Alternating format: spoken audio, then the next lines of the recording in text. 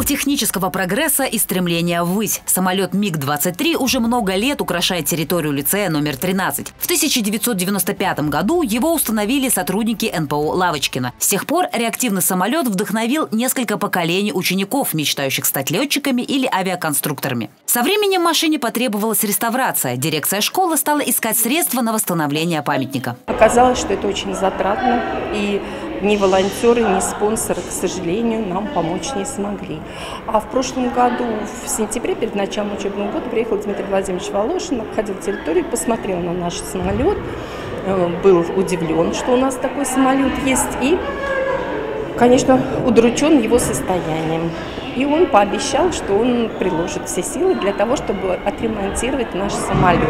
Глава выделил средства на реставрацию. Самолет обновили в короткие сроки. По словам директора, именно так выглядели самолеты серии МиГ-23 при выпуске в 60-х. В торжественном открытии приняли участие ученики, родители, ветераны, члены движения общественной поддержки и сотрудники администрации округа. Почетную обязанность открыть памятник предоставили председателю Совета депутатов Александру Дренову и заместителю главы Ирине Теслевой. МиГ-23 – это шаг вперед. Это, если вы вот обратите внимание, это же первый самолет, у которого меняется стреловая видность крыла. Это символ обороноспособности нашей страны был в те годы, когда он поступил в эксплуатацию, 67 год, и далее, и далее, и далее, 70-е, 80-е, 90-е годы, это был основной самолет российской советской авиации.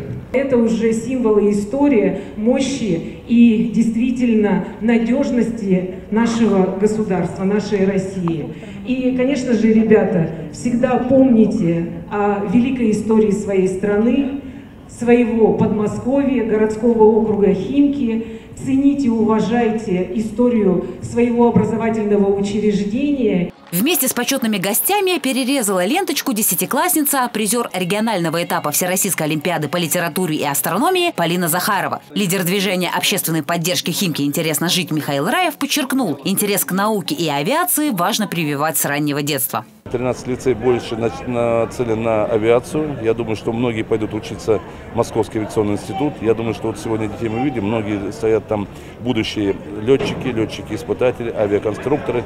Конечно, это все надо прививать, они должны это все видеть. По словам школьников и учителей, обновленный памятник станет визитной карточкой лицея. Ведь он хранит память не только о прошлом советской авиации, но и напоминает о необходимости всегда стремиться вверх. Ксения Брагина, Алексей Сыченко. Новости Химки ТВ.